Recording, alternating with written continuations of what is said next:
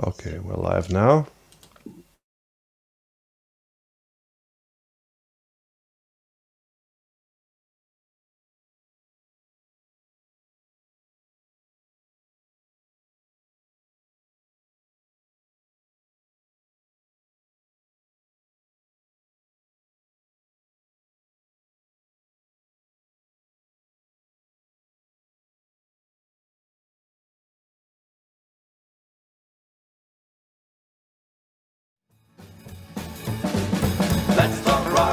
The show where I talk to musicians, DJs, record collectors, and promoters about the music we love and live.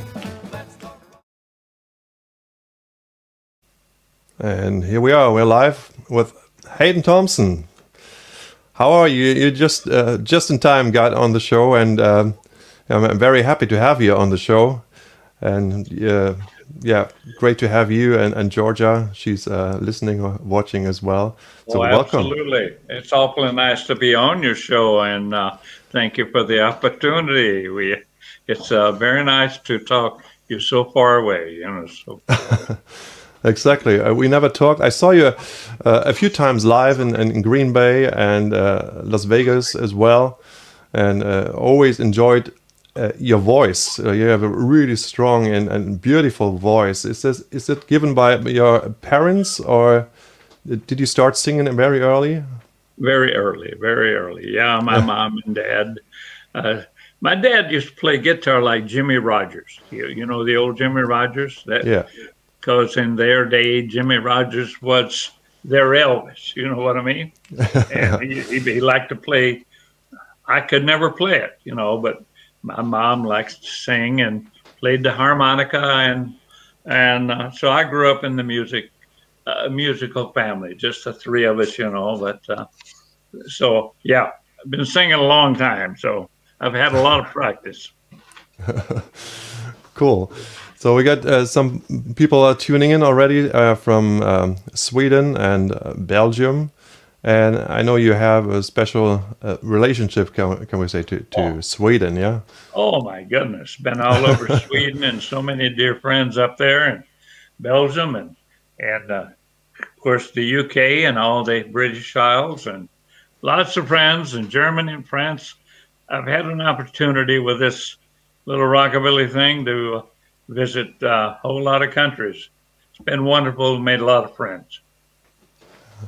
So we, uh, we have some um, some questions already coming in. Don't make uh, it too difficult. Stuart Turner, uh, he is from England. He um, sent me a question. He was uh, saying, and also uh, five euro fifty one via PayPal, and you can donate uh, to the address which is right above Hayden Thompson's head. Let's talk at rennyrich.de, and you can also use uh, super chats uh, if you want on YouTube. Um, so the question is, um, he said um, his half brother played bass for you, Hayden, in the 90s. And he told me he remembers you telling him about when you went to watch Hank Williams live.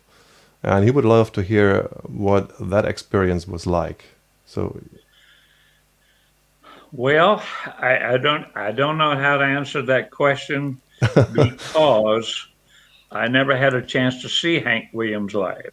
So I don't I I really don't know. I, I can't answer. The only yeah. way I see that I never had a chance to see Hank Williams live, and so uh, maybe something got a little confused there. But uh, could be, yeah. and of course, I I'm I'm positive that I never told him because I'm not one of these guys that tell you little stories, you know. And but no, I was. Hank passed away. I think mate was it 53. Yeah, January 53. Well, 53. Yeah. I was I was uh, 13, 14 years old. So I really never had a chance to see Hank uh, alive. Believe me. So uh, so maybe I don't know where the story got confused, but stories okay. get confused sometime. But anyway, what's yes. his name?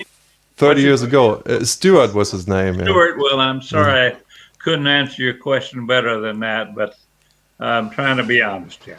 So he would be a, that's great. I mean, uh, yeah, I really appreciate that. a follow-up question for you. Um, did you see any of your uh, like country? I mean, you were a big country fan. Did you see any of your uh, of the guys you idolized or the, that you really liked? You recorded like "Going Steady" by Faron Young. Did, did you see him? Or? Okay, in the early days, in the early days back in the late '40s and '50s, uh, they put packages together out of Nashville, like with with uh, Hank Snow and Ernest Tubb, and they put a half a dozen people together and they go send them out on the road. So they would come through the country and uh, they would play little theaters, uh, play churches, auditoriums, and schools and stuff like that. So I had a chance to see some of those people at a very, very early age, you know. But uh, I grew up on country music, and um, on my new CD, I have my very, very first record from 1954 called uh, "Act Like You Love Me" and I Feel the Blues Coming On, and and of course I had grown up with it, and uh, so that's that's what we knew in the South until the boy from uh, Tupelo came along and showed us how to sing rock and roll or rock. Well, we called it rock and roll then. I don't know who put the rockabilly on it, but that's fine. But uh, we were all singing country music till Elvis came along and showed us uh, we could all do it. We just didn't know how to do it, you know. But he yeah. he he showed us how to do it, you know. So thank thank thank you so much for that, you know, Elvis. Thank you. And um, yeah, talking about rockabilly, because many uh, people I talked to from uh, who were playing in the 1950s said they they didn't hear the term rockabilly back then. But then you have songs like uh, Rockabilly Gal, um, um, Rockabilly Boogie by Johnny Burnette, or even Rockabilly by, by Guy Mitchell. And so, was it maybe a regional thing, or do you know anything about it? Well, I I cannot honestly say where the word Billy, rockabilly came from. I thought it maybe somebody in, in England put the Billy on there. But we mm-hmm. just called it rock and roll. But the song Rockabilly Gal came out of California, and it uh, that was 57. I cannot remember the people that wrote the song, but uh, I was working with Slim Rhodes and his band at the time, and that's when um, uh, at Sun we recorded the song Rockabilly Gal, and uh, and so but as far as knowing exactly where that song came, uh, where the word came from, I don't know. But somebody tagged it, you know. But okay. now, are you familiar with uh, Slim Rhodes and his band? Yeah, I got, I got a his uh, Sun 45. They do what I do and, and, take and give. I think that that's a fantastic well, song. okay, now I got I must show you this in your and your and your people I hope you can see this. I put I'm you on, on on the big screen the, here. On the big screen here, this is this is Slim Rhodes in the white hat. I'm trying to, and uh, they always included rockabilly singer in their band, and that's 1957. I want you to check out those shoes. Can you see the shoes? Yeah, sure. oh, I bet, I bet you, I bet you would have loved a pair of those shoes. That's an amazing but picture. it was a, a, a great experience to work with. They were all older, and and I'm just young whippersnapper at that time, and uh, but what a great experience and some of the greatest people I've ever ever known. Slim Rhodes and his band. Okay. Here we go. Um, Got another question? yeah, I just um, I have different sources here for questions. Well, wait a second. Got another one coming up from Axel. He's from Belgium. Axel. Um, can you tell us about the atmosphere with all the other talents at Sun Records? Um, who was your closest friend there, and who was the most difficult guy to deal with? That's probably a hard question, oh, but I don't know. you know, I'm not going to talk about difficult guys. Yeah, we were all young, and we yeah. knew we knew everything. You know, we were smart. We were all smart. You know, but anyway, some of my closest friends were Billy Riley, Sonny Burgess, Malcolm Yelvington, Bill, uh, Jimmy Wages. Uh, of course, we'll talk about Roland later on, which was a dear, dear friend. But uh, when I came to Sun, I'd been touring with, uh, I came right out of high school and uh, we had this rockabilly, we had a little rockabilly show after, uh, you know, Elvis hit with That's All Right Mama and a few records. Prior to that, I was like so many other artists in the South and Southwest, Southeast. We had our little radio shows on this uh, locally, and we played little dances and this and that during the week. But when he came along, we all thought we could sing rockabilly and rock and roll, and uh, so uh, I traveled with the movie Rock Around the Clock. I told you this before for about eight months, and we played the theater circuit, and it was just uh, we would go. We carried the movie with us in, in the in our the the trailer, the, the movie itself. We carried it, and we we played the theater circuit, and we'd go into town and and uh, we would do a show. They'd play the movie. We'd do another show. So that was our show. I did that for eight months. Where in Memphis, you had people like Sonny and Billy and Narvel Felts and mm. Orbison. And by that time Cash and Presley had moved on and and um, but they put say five or six people in a package they called it. So they put them on the road. But as far as myself i just had the movie and my little band and we uh, we did that for about eight months. So so did you that's have the how i got to sun records okay did you have the projector in the in the trailer too? Did you have No, did no, you have no. to show the movie? no, just just the movie itself. Yeah, just the just the Yeah. movie and the big reel yeah, so yeah. if you went to see a movie t- in the old days, you got the projector up in the up in the top of the up in the balcony. You know, Yeah, yeah, we would do a live show. They would show the movie Rock Around the Clock, and then we would do another show. And so that was the package, my package. So I, I really never toured with these guys at that particular time. Later on, I worked with Billy Riley and uh, a couple of other guys, but uh, there's all kind of press that says uh, that Riley and Sonny and myself just tore the South apart. Well, that's just not true. you know, I'm telling It's you. still it's still there. I I didn't work with I didn't work with Sonny Burgess till 1990 up in New York, and we, we we've had a lot of laughs about this. But um, sometimes people get a pencil in their hand and and they uh, go a little crazy because they think they know a, little bit more than they do, you know. But uh, yeah. I'm just shooting you straight today, you know. Okay.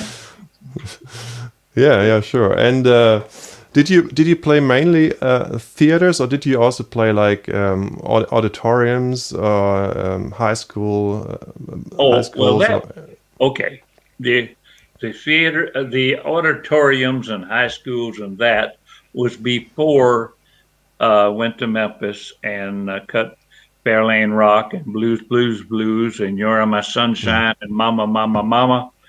Uh did that in 56 but prior to that it was just locally like we all did. And yeah, they will, you know, all the guys that would still around or have left us will tell you, uh, we all had our little local radio shows and we played those little theaters and schools and stuff like that. And, and it was a bit, it was a big deal at the time. You know, we're talking 55, 54.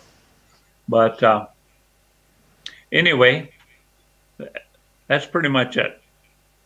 yeah, cool. Um, so we got some uh, some other questions. Then later, uh, when you came, um, like you played until in, in the '60s as well, and uh, some country music. And I just listened to your great uh, Kapp uh, uh, album, and you told me even played on, on the Grand Ole Opry then, yeah, in, in the mid '60s. How, how was that? That was still at the Ryman, yeah.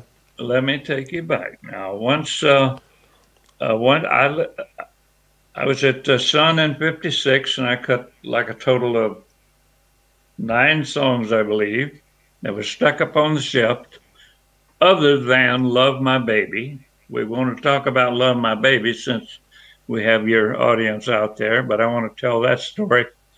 But um, um, I, uh, I, 57, I worked about uh, six months with Slim Rhodes in his band, and that's when we cut Rockabilly Gal. Okay, and uh, and nothing was really happening for me, and a, and a guy in Chicago um, had opened up a club and said, uh, he, he called me. As a matter of fact, he was from Mississippi. He said, How about coming up and, uh, you know, we'll, we'll put something together? I said, Well, I'm not doing anything. So, make a long story short, I made the trip to Chicago and, excuse me, 50, 50 uh, 58 and um, got acquainted with everybody. And I moved to Chicago in uh, like May of 58, put a band together, and I had a club called Tally Hall, about 30 miles north of the city of Chicago. And I worked there for about uh, four years, four or five nights a week, three piece band. I was on playing piano, had a guitar player by the name of Travis Westmoreland, and a drummer by the name of Bob Miller and Danny Webster. And that's those four years is when I cut Brown Eyed Handsome Man, Kansas City, Call Me Shorty, uh, uh, Going Steady. We cut those demos in that period of time. And that took us up to about 62. And then um, things kind of closed down a little bit, and I got out of the business. And all of a sudden, country music started to, to take on. And country music's ha- it's been a strange thing over the years. It can be hot for four or five years at that time, and then so- something would replace it hmm. and take you back to the time in early 50s when Webb Pierce and Faron Young and and Hawkshaw Hawkins all those people were number ones. All of a sudden, here comes Elvis and knocks them right out of the box, you know. Okay, so that that was that period. Now you, you go along to, you move on up to another 10 years, and all of a sudden, country music starts to take hold again. And you had people like Buck Owens, Merle Haggard, and uh, some of the guys from the West Coast, Roger Miller, uh, just so many people that started make started making a little inway into country music. Mm. We had a major station in Chicago called WJJD that uh, decided they would switch over to country music. So they did. In the meantime, um, these guys in Waylon, I, I, don't want to forget Waylon. He was a very dear friend. One, mm. one of the We're talking about so Waylon anyway, Jennings here. Yeah? Waylon Jennings, yeah. yeah. So, but he was one of the people that I want to include with Merle Haggard and, and yeah. Buck Owens and uh, Roy Clark and all the people from Hee Haw, to be honest with you. so, this radio station, WJJD, uh, they opened up a club here in Chicago called the Rivoli Club. And uh, they had a staff band. And uh, Friday and Saturday night, and it, it was a big place, held about 1,400 people. And um, so um, every weekend they would bring in one of these people like Waylon or Buck mm. Or Roy or some Merle for a, a, guest weekend. You, you follow me so far? Yeah, I'm yeah. trying to make this as easy. Should I turn my collar up or no? Should I leave it I on? Have, I have my collar down, so I think. Well, you right. should take that. so you're making me uncomfortable. You got that tie on. But anyway, I had a chance to work with all these people and and got to know some of them fairly well. Uh, a few, but not too many. But anyway, this one particular weekend in in '66, because I worked there for about a year and a half, they brought in Mr. Roy Acuff and his band for the weekend. And at and at the pres at that time, now you got a picture.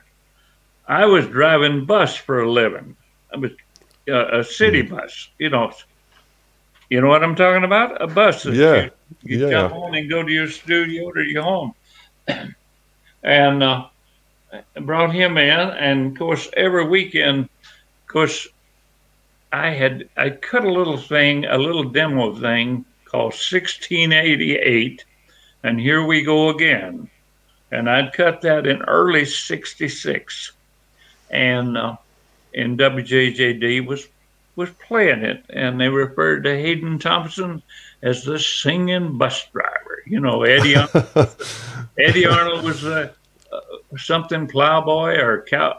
I think it was you know, ever they, they stuck nicknames on people back yeah. in those days. Remember that? Singing Fisherman. Uh, yeah, absolutely. but anyway, uh, and uh, so I was being accepted very well at the Rivoli, and uh, uh, try to move along a little faster here. But they had been playing 1688 on the radio, and and uh, at this Rivoli Club. So they had Roy brought Roy Acuff in one weekend, and now I got to tell you, I got to say this, and I'm going to be very honest with you. Appearing on the Grand Ole Opry was not one of my big dreams, and I know there's people out there that would mm. give that would have given their left nut in UP to sing on the Grand Ole Opry, and it yeah. was just it was just not my thing. Okay. anyway, excuse me. After the show that weekend, Mr. Acuff saw the resp- every weekend I got the I got such a response from the crowd, and uh, he approached me. He said, "Would you be interested in coming down and doing the Grand Ole Opry. And I said, well, okay, fine.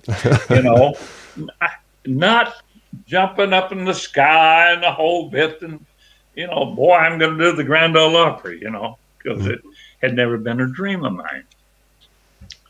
And uh, anyway, make a long story short, uh, he said, now I'll go back to Nashville and I will talk to my people, which all that's a story I've told so many times. I can talk to my people and see if we can bring you down for a guest guest appearance.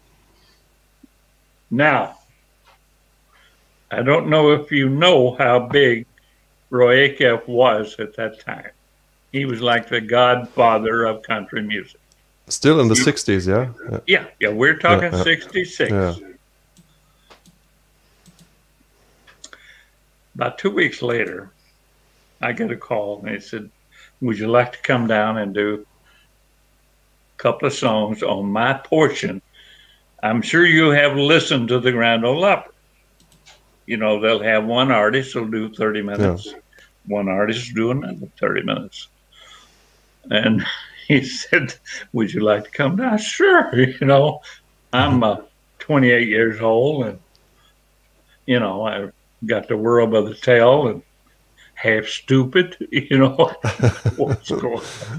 But anyway, I'm getting a lot of record play from WJJD, and I went down, and uh, and uh, he he had a show, say eight. I can't remember the exact time, mm. eight to eight thirty, but had me on for one song on his 30 minute program and then they had somebody else and later on he had another 30 minute show and the second, second, second song I did was Grant was uh, "Boots Are Made for Walking." Well, at that time, rock and rock and roll was not very big on the Grand Ole. Yeah. But I, was doing it at the Rivoli in Chicago, and it just tore the house apart. And Hmm. you know, it's a Nancy Sinatra song. So I, I did this thing, and and it went over great. So anyway, that was my first. So that's how I got to the Grand Ole Opry, and uh, went on to make three, two more appearances. Had a Hmm. third one booked, and it happened to be the weekend that String Bean uh, was unfortunately murdered. Him, and he and his wife, and and so they canceled me out. But, but so I had three appearances, but that was '66. Okay Yeah. and uh, in uh, in in the meantime, in '66, I had cut this new album that you mentioned called uh, uh, um, Hayden Thompson Kapp Records. It just played all over the world, all over, and no promotion. It was just good enough to get played. Sold no records at all. So anyway, that takes you to that period. At that point, uh, I worked to another three or four years in Chicago with that publicity, and JJD stopped playing country music, and I started playing little dinky nightclubs around where they, if they didn't like it, they'd throw to beer bottles at you, you know, the, with a screen, and like in Blues Brothers. D- But, did you have uh, the chi- chicken? Did he have the chicken wire uh, in front of the stage? there was places where they had chicken wires, you know, just like in Blues Brothers, but well, whatever. And I finally told my wife Georgia, I says, if this is the best I can do, after all this time from '54 up to uh, the end of '60, early '70s, I said, it's the best I can do. I, I'll, I'll just quit it because I just had lost interest. Cause, and Yeah. then out of the clear blue sky. I went through about nine years of uh, uh, wife and I, uh, Georgia and I, were raising our young son, driving limos. She was a secretary, and we uh, scratched out a living. And uh, that clear blue sky, I got a call from a guy called Willie Jeffries over in the UK. He says, you know, at that time they'd been bringing over people from the Sundays, and uh, you know, like Eddie Bond, uh, Hmm. Narvel Felts, a number of people, you know, that really Yeah. didn't have that big hit, and uh, but they would bring them over, pay your fare over, feed you, and put you in a nice hotel. You bring home a few dollars, no big deal. Did you follow did me? you hear it? Did you hear that from Willie Jeffries, or did you talk to uh, No. some of, of the guys? Uh, Willie had some. I can't forget Eddie Bond Hmm. and Joe tu, Joe Poovey, but Eddie because he called me in '81 wanted me to come over, and uh, and at that time, uh, as I mentioned to you t- two weeks ago when we talked, at that time I'd gotten older, lost a little hair, got a little grayer, you know, and lost a little confidence, and. Uh, just refused to go. In the so the next three years he had like Eddie and Joy, Narvel, Sleeveleby, people that had been there and said, if you ever get a chance to go, you should go because you won't make a lot of money, but you will enjoy it and it'll be like turning back time. hmm. You follow me so far? Oh yeah. 80, 84 comes along, I get another call from Willie Jeffers and Dave Travis. We all know Dave. You know Dave? Yeah, I know him. Yeah. Oh, yeah. Well, Dave was the guy that had the band that backed up all these guys they brought over. And it was a ritual that when they'd bring them over, they would uh, record an LP, you know, on whoever they brought over. He had his own band, the, and uh, good musicians. And so that was the routine. 84, uh, it, they called me back. Willie did, and says, uh, "We'd like to invite you back again." So George and I talked about it. We took our young son out of school and looked at each other and said, "We'll never get to Europe any other way except for this little rockabilly thing I did." and so we made the trip. Did about four shows, five shows in England, two up in Sweden, and uh, did one in Holland, the Eindhoven Festival, and that was 84. I came back to Chicago. Boy, was I flying high, and I was only 46 years old. You know, boy, boy, boy, what what just happened? You know. Yeah.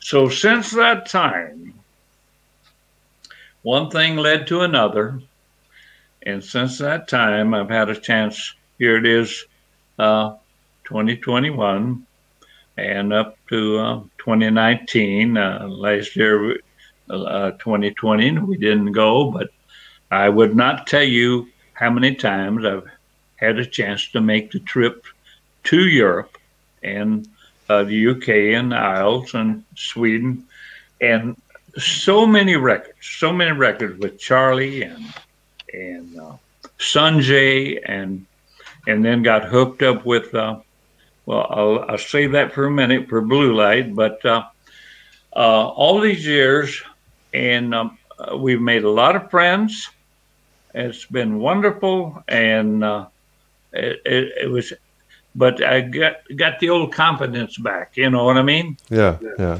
old By the way, confidence. wait, we mentioned friends. Uh, Anders Anders Backberg from Sweden. He is he is watching us and he Who's says that? hi. what's his name Uh, Anders, the bass player from uh, Wildfire Willie and the Ramblers. Hmm. You remember him? Oh, Lordy mercy. What a bass player. What a bass player. How are you, buddy? Our Georgia sons are best. We, uh, yes, yes, yes. Wildfire Willie's one of the, uh, we worked so many times with these wild and boys and, uh, and, uh, oh, what great memories up in Sweden with, uh, with J.O. and the boys and, and J.O. Erickson and oh my goodness, you, you're bringing back memories. But hello, my friend, and say hello to all the boys, will you, please? yeah, I'll- uh, they hear you. Good. So there was uh, some more question about the the, the 50s. Um, do you remember what kind of gear you had for, um, for for when you played those shows? What what kind of amps or guitars did, did you have? Did you play acoustic guitar all the time? Did you play electric as well? Nope. no, we didn't have the uh, the uh, what what they call those things when they shoot off the stars and all this stuff. We had one big amp that the guitar played. No amp on the the the um, my rhythm guitar, and just the bass. No, you cannot believe how simple it was. You cannot, and we made a lot of music, but the guitar player's only one had the amp. You know? And then there's another uh, question from Adam. Uh, did did you write uh, cheese and crackers for Roscoe Gordon? Cheese and crackers. Oh my goodness. Well, just now here, my wife has. I, I asked her this morning to pick out some pictures. Come over here, honey. And first of all, we, I want I want to show you. I, I first met. Okay, we're talking about Roscoe Gordon. Yeah. Here, Yes. right here.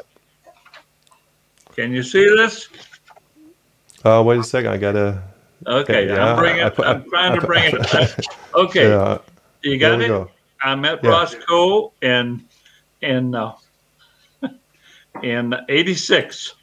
Okay, you got it, Roscoe Gordon.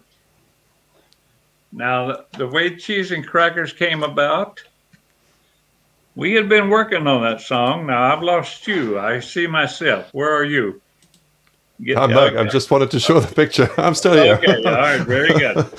Um, I was working on that song with uh, Slim Rhodes' band, and couldn't get it right. And I don't know what happened. It just didn't wasn't turning out. Jack Clement was running the board, And uh, we finished up, and I left the words on the piano. okay, you ready for this? The next day, uh, Roscoe had a session, and he came in and he was had his songs. From what they tell me, I wasn't there, and but my song was laying on the piano. You know the words. Yeah. And uh, make a long story short, he says. he says, "Where'd this song come from?" And Jack Clement said, "Well, Hayden was working on it yesterday, and and that uh, we couldn't get it going. So he said, "Well, let me try it." So that's how she's incredible. So he put he put his touch to it, and yeah. So. so did you, did you like his version? Oh, did you like his? Loved it. Yeah, and, uh, yeah I like it too. Yeah. Over the years, I uh, I've tried to do it, but I do it in my own style. But um, you know, not as uh, not as good as he did, but he had his own style. And actually was looking forward to working with him in New York, I believe in early 90s. And um, bless his heart, he passed away a day before he's supposed to make the show, so, something like that. But I only met him the one time here in Chicago, you know. But anyways, it's memories, you know. Amen. Yeah. Okay. Oh, Adam, Adam, the guy who sent uh, the question, he says, uh, "Thank you so much, Hayden." So yeah, Adam, really appreciate Adam. He sent the question about uh, cheese and crackers. Okay, uh, and he he really liked the, the answer. okay, well, I'm trying to tell you just just the way it happened, you know. And, yeah. And again, I just want to remind you, um, you can uh, always ask questions by, uh, via Super Chat on YouTube. And also you can um, donate something with um, PayPal to let's talk at wendyrich.de and just um, attach your question. And yeah, we'll be happy to answer it. So here's another one from, from Carl. Uh, he's from Austria and he wants to know have you ever seen the young Elvis in 55, 56 live? All right. what was the special deal about him? What do you think was special about Oh, I don't know. I guess he was just special. I guess he was special from day one. And like I said before in our early part of the interview, we we'd never heard anything like this before, you know, because we were all singing country music. I used to, and he used to play little theaters, uh, churches, auditoriums, and and at that time he would be with like a, a, couple of people I remember is Jim Ed and Maxine Brown, the old country, the country act. I shouldn't say old, but they were a country very popular, and uh, Hank Snow and some of those Nashville people like. Oh, um, Onie Wheeler, and and uh, oh, but mm-hmm. they would play little places, and I would go see them. They played all over the country in uh, uh, '54 and early '55, and and I would go see him every chance I could, and uh, and uh, of course, ever you go backstage and nobody back there talking to him, and and I chatted with him many many times, and uh, of course he was 19, I was 16 Never got a chance to know him personally as a friend, but just amazed with his talent, you know, and it was just something different. And we, in the South, we, back in those days, it took, like with Sam Phillips, he, he would take every one of Elvis's records and he would not put another one out until that one had sold its limit. You know what I mean? Yeah. So, in other words, not a record every week. It was maybe a record every three months or something like that. But he got everything he could because he was a he was a businessman that didn't have a lot of money, and uh, something was hot. He put his money behind it, and uh, but uh, but um, like I say, yes, I I knew him, and he was like family. But uh, but I didn't know him personally, you know. Is is another question from Dylan. Uh, he's from England. He plays piano. He's a big Jerry Lee fan. and um, he wants to know: Was a Fairlane Ford your dream car back in the fifties? Was what? What are you saying? A Fa- What? Ford, Fa- a Ford Fairlane was that your dream car back in the fifties? Well, actually, that's that's that's what we. My mom and dad bought as a family car a 1956 Fairlane Ford. It was red and white, and we had a red and white trailer that carried the instruments, and uh, and hooked behind it. It was a small trailer, but it carried the instruments and our clothes. And on the side of it, it said Hayden Thompson. You got a picture. It was red and white, just like the car, and uh, and uh, carried on the uh, the road. And uh, on the side it said Hayden Thompson, the original Rock and Roll Review, and on the very back it said, "You ain't nothing but a hound dog." we had lights over it, that so when you turn on the headlights on the car, you would you would see. Now I'm going to hold this picture up, and you, on this picture you'll see Billy Riley, Roland James, and Jimmy Van Eaton and Marvin Peppers. But this was what it standing on the back of the car. Let's see if I can bring it up here. See that? You ain't nothing but a hound dog. Yeah, sure. that was that was quite a sight to see in '56, you know. But uh, but uh, did you yeah, did you that- paint that- that yourself? Did, did you did you write that yourself, or did Oh, you have yes. somebody? Can you imagine how much time it took to write Fairlane Rock? Oh, No, I mean, probably, probably 30 minutes, you know. Ah, you mean the song? Yeah, the song. Okay. no, I, I mean, I mean, did you write "You Ain't Nothing But a Hound Dog" on, on the trailer? no, no, no. That No. was the promoter. He he Oh, okay. that. He he designed the trailer. Yeah, Uh, but I do want and uh, here we, I've got to show you this. This is something very rare. This is Wow. Yeah. the brochure from from Phillips International when he started his new label and put out. I'm trying to get it here. Announcing a new world entertainment, Phillips International, and uh, this is in '57 when he released uh, "Love My Baby." Barbara Pittman, uh, Buddy Blake, and Bill Justis. He to a subsidiary of Sun. You follow me? And uh, so he put out that brochure and uh, and uh, nice stories about each one of us, you know. But uh, so that was there. But uh, do you remember Barbara Pittman? Yeah. Yeah. Let Sure. me show you. Uh, Look at look what a nice, pretty lady she was. I'm holding. There she is.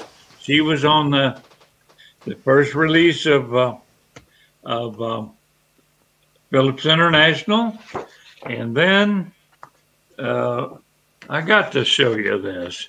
I've got you know Oh, who this is. You I see Roland. that Ja- is. I see Roland James there. Yes, yes. Our dear friend. You met Roland, right?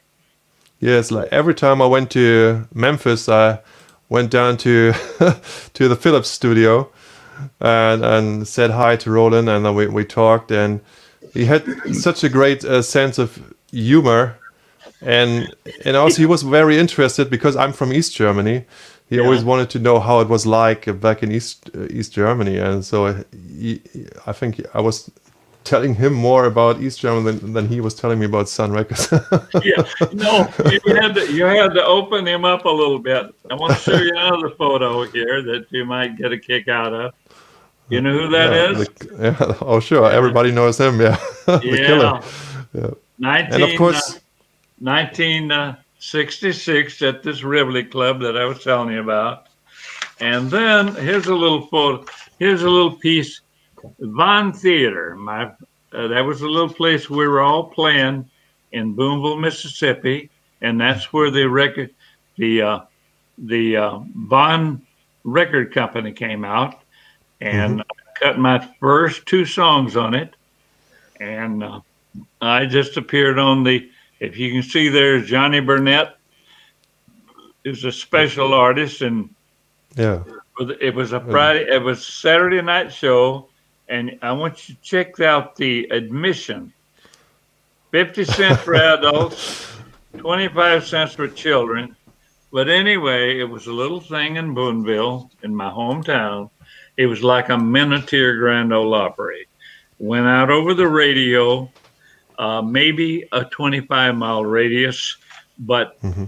people came from Memphis.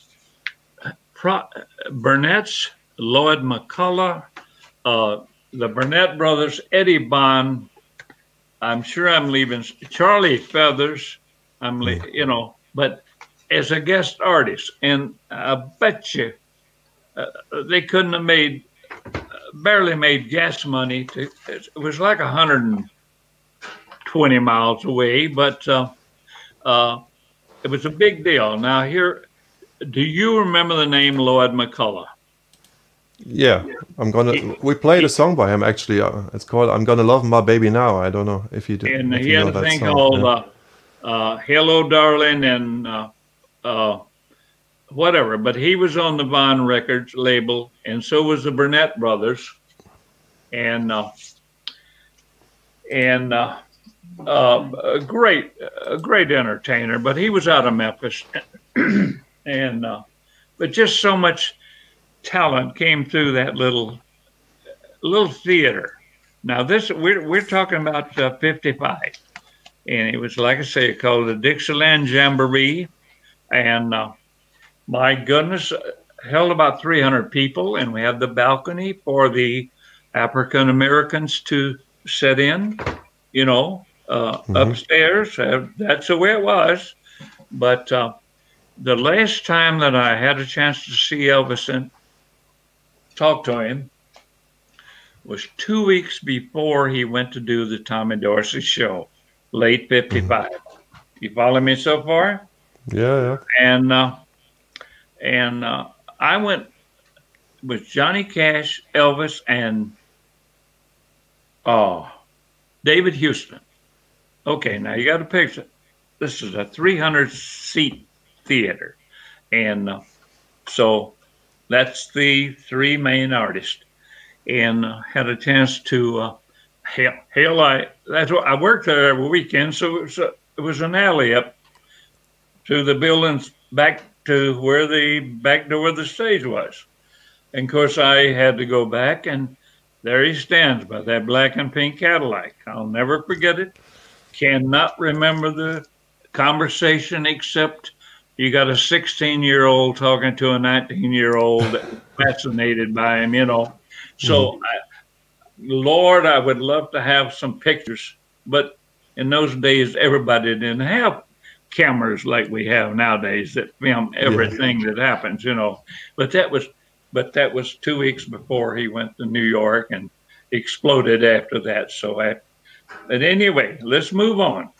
The last, the last um, 10 or 12 years, I've worked with a little group here in Chicago called Iron Horse. It's a, a, a little group of twin brothers on guitar and bass, and always keep a fantastic drummer, and uh, and uh, just a, a, super group. and they're managed by their mother, Loretta, who happens to be in the hospital today, and we hope she's watching this and hope she gets a feeling better because uh, the wife and I and her and her husband are going to Reno here in about a month. And uh, so, but anyway, she loves these kids, and I want to show you their pictures. And we just did a thing. It's on YouTube, and it's called. They're called Iron Horse. Let me get it all over here where you can see. Everybody can see them. But they're what, and they're they're uh, all early 30s, you know, and for them to play for an old part like myself, they uh, they sure know how to play it, and and they're great people, and I enjoy working with them, you know. And so I just want to give a big hello to them. That's yeah, that's great. Uh, you sent me the link uh, to watch the video, and yes, uh, did you yeah. watch it? Yeah, that was a, a, great show, and yeah, it was good to see some some like Ken Ken Motti, oh, um, oh, you know, a good Ken, friend of mine. You know yeah, yeah, yeah. I think you told us that. Yeah, and uh, Rose and the Rivets, and uh, oh, uh, just a great show. We, we've been doing that show for the last ten years at a big school, but this year with the pandemic, we uh, they brought us into a studio to do it. I want to show you a very quick picture of a couple of very special friends, Dave Travis and Billy Lee Riley. See? Can you see that good? Yeah, yeah, yeah. It's it's all there. Yeah. Made that right. France. And then here, here's one of my favorite people, Narvel Felts. Oh my God! Let me get this picture up here. Where yeah, it's always in the wrong direction. Yeah, uh, okay, it's, it's sideways. Okay, it's mirrored. Yeah. Norval. What, what a, a, talent! yeah. What a yeah. wonderful talent he is, and, and of course, one of my favorite people is, you know who this is, Charlie Gracie. Charlie Gracie, yeah. yeah. Oh, he's a he has a big following in uh, in Europe and and then there was an old boy down in Louisiana that's one of the greatest drummers you'll ever want to work with called Warren Storm. You know mm-hmm. the name? Yeah, I know the name, but I I, I, Warren, I, I don't know him like. Uh, Warren played on the, uh, the, George Paulus CDs, a rockabilly rhythm. Here's another one with another special friend, Carl Mann, when mm-hmm. he was young, and we're going over here when he was younger. See that? Yeah. Everybody knows Carl and Blue. Just lost him here a little while ago. And uh, our good friend Jimmy Dale from Phoenix and Carl, and we did a show in England and and uh, and uh, Rocky Burnette. But here's one I think you'll enjoy. It's from 1960 at the Memphis Zoo. Now check this one out, will you? Are you ready? Uh, Check out that young Hayden Thompson. oh, I wouldn't even recognize God. him. With the guns and the whole bit. if, if, you talk about somebody that thought they were special, boy, boy, boy. it was a long time ago. But anyway, you know, we're how much time we have left? Uh, let's do maybe uh, 10 more minutes. All right. And, Do we have uh, any have, more questions? We have any more questions? We have. Uh, let's see. um. Um. Oh, that's, that's While some, you're figuring that out, let me say hello yeah. to her. I want to say hello to some good friends over there. Okay, like yeah. Alex. They're in in uh, Munich. Robert yeah, Barbara in Munich uh, Sebastian and uh, Axel and all the guys and Christina. We, after going over there since '84, we made an awful lot of friends. And uh, and um, I here one thing I, I, I have got my list here, but uh, uh, our friends in uh, in France at uh, Good Rockin' the Night. Uh, Jackie. Jackie and Lillian. Uh, hmm. They're talking about a show next year, and they're talking about uh, bringing me over. I hope the hope the situation gets where we can. And of course, with uh, Tom Ingram in uh, Vegas in September, I hope that works out. But I want to talk about a couple of minutes here, my friends at uh, Blue Light Records over in Finland, Mika and all the boys. Mm-hmm. And uh, over the last 12 years, I've had uh, four CDs with them and uh, and uh, just uh, super musicians, super friends, and uh, and it's on the internet. If anybody want to check it out and and maybe buy a copy of whatever, but had some great records with them, and they're talking about something else in the future, but we'll, you know, time will only tell. And my latest thing here, I definitely don't want to forget this. My good friend Dave Travis just put out Mississippi Rockabilly Man, and it's on the internet. You've heard it. It's a collection of things from 1954 right up through uh, 2007, and uh, he he he did a production that uh, is is top class. Dave Travis and Stompertime Records, and that's on the internet if some of the fans would like to check it out and want to order a copy. So I'm trying to get all this in, and uh, like I say, we're doing the Vegas thing, and uh, and uh, I don't want to forget the one thing here you hadn't mentioned, the boy from Tupelo, the CD, uh, uh, the CD I made for Sunjay back in '90. It's yeah. a tribute to Elvis. It was a tribute. It was a probably a, many many tributes, but this thing I had so many. Uh, uh, so much uh, response on it, not to sell any records. So what you're doing, you're talking to a guy that, uh, you know, been around like so many other guys, made a lot of good records, and uh, just never quite got that damn door open, you know. But uh, mm. but whatever, uh, because of a lot of nice people, you know, still hanging there.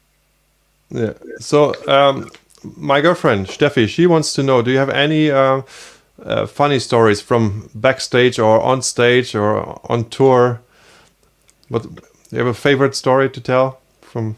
well, I, I, very briefly here, I can tell you the in '56 when I uh, had first started on the road, I uh, we you know, being a bunch of old country boys, and we had the nice car and the trailer and the whole bit, and traveling with the movie and and the local newspapers and the Tupelo Daily News, and they did a nice big story on uh, the success of this young guy from the, country out there in Booneville, Mississippi, and and so uh, the guy that was my manager at that time booked me into the local theater there and held about 400 people. So it was like you're bringing back the, the young, the up and coming star, you know, to, yeah. okay, the place was packed. Excuse me. Place was packed. The balcony was full of our African American friends. So place was packed. The, per- the show was perfect. Walked out on the stage and I hit mama, mama, mama, and crossed those legs and tore the seat of my pants out. right in front of the first 12 rows of the theater, one of the most embarrassing things. And I, I had put my guitar down between my legs and walked off the stage and changed pants with my manager, which was about two sizes smaller than I was. And I went back out and performed the show. But uh, that's one of the things that I will live with. I will always remember. And there's a, there's a few things like that, but you wanted yeah. one. So if that's, you wanted. A, you wanted a good one. I gave you a good one. That's fantastic. Yeah. let, let, me let me say a quick hello to my good friend down in Pittsburgh, Mike Mixer uh, very dear friend, uh, rockabilly singer, and also Bob Greenspan over in Utah, and they're all watching the show today, and and uh, so many people over there in Europe that I'm sure I've missed, and like I said, I think I mentioned Axel before, and and all mm. the guys in Finland and Sweden that I've worked with, and of course Dave Travis has been a dear friend, and and you know what? And of course I showed you the picture of Roland and but what an opportunity this has been, and I've enjoyed it. And uh, Georgia, uh, here, you said I'm going to bring Georgia over. She wants to say hello to all of her friends. George, see how, see what I mean? I don't know if you're married or not, but you. Okay. you see her good? Hello, Georgia. Hello. I haven't even good. combed my hair. Say hello. good to see you. Hello. hello. Yeah. Thanks and, for bringing her on, onto the internet. hadn't it been for her, I'd have been talking to you on the telephone because she's the mm-hmm. she's the uh, she's the glue behind the uh, wheel here, you know. But uh, uh are we? Uh, one story about what? Roland, about the when you're okay. How much more time do we have? Maybe one story. Then I, I have the quiz question where people can uh, win something. You know. Yeah. Uh, and uh, and then uh, after that, we, will just uh, you know see if there's one other question, and uh, and then we can call it a night or a day for, for you. Oh, we could talk for another hour. You know, it's. I got to say, it's been been delightful, and and I know I missed a lot of people I'd like to say hello to, but. Uh, whatever. Go ahead. About Roland. Well, it, it's it's okay. hard to, to get everybody in. oh yeah, but one yeah. One. Okay, now you said you knew Roland. You you met Roland. Yeah. In your email, you said something about his his right sense of humor, right? Yeah. okay. Now on this new CD on Stompertime with Dave Travis, I flew down to Memphis and to uh, cut that particular song with a friend of mine called Billy Harden here mm-hmm. in Chicago. He was cutting a record at Sun Studio. They wanted me to come down and do a couple of numbers. So we so flew down to do this and uh, and uh, and before I say anything else, I want to throw out a big, big hello to my good friend Jimmy Van Eaton which is a big part of the Sun scene. And I yeah. hope someday you can have Jimmy on your show because yeah, I, I Jimmy, so too. Yeah. Jimmy was there. He and he'll tell it straight. And and I hope the time comes you can use it. But getting back to the session I did at this particular time, I was going to do uh, Jerry Lee's "It'll Be Me." Now, you've heard that, right? You got the yeah. new CD. Yeah. Okay. Yeah. Now, put me over in the booth. Of course, Roland and I always kidded a lot, you know, but he, he had a dry sense of kidding, you know. so he's in the board. So we went through it once, sound pretty good. And he said uh, something like, well, let's take one more take of that, you know. Now, up in Finland, they call me, at Blue Light, they call me one one take Thompson, you know, which is, you know, I always thought was funny, but whatever, you know, some people, sometimes it goes perfect the first time. And you yeah. do it 25 more times and it won't work out. But whatever. In this particular case, he said, let's do it one more time. And I, I said on the mic, I says, I'd like for a note to be made that I did it perfect the first time, but Roland screwed up. So now I'm going to have to do it a second time. And he, I'll never forget that look of, of he wanted to laugh. He knew I was kidding, but it was a fun, and we all had a good laugh and I'm still laughing here today, and it was 15 years ago, you know. But that's that's. But he was a wonderful fella, wonderful guy, wonderful guy. Anyway, what else do we have? Um, let's do the, the quiz question. So, um, if you paid attention, that that should be easy for you. Um, let's uh, bring in the trailer here.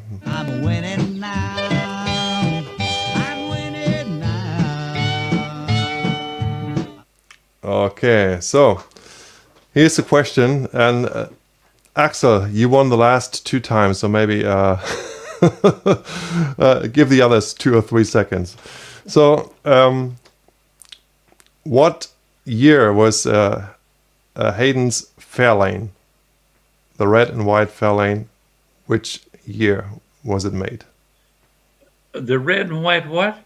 Uh, that, uh, the, the Fairlane. Uh, that's uh, the question is not for you. It's for the for the other guys who are, who are watching. Uh, and I just wanted to know um, which year was it made? Your your Fairlane that you owned. You know. Oh, the and Fairlane. This, the Fairlane. This, yeah. This is this is not for you. Don't answer it. oh, okay. But, okay, we, but that's what you're saying. The car, the yeah, Fairlane. Yeah, yeah, yeah. yeah. Okay, okay we got. Your, okay.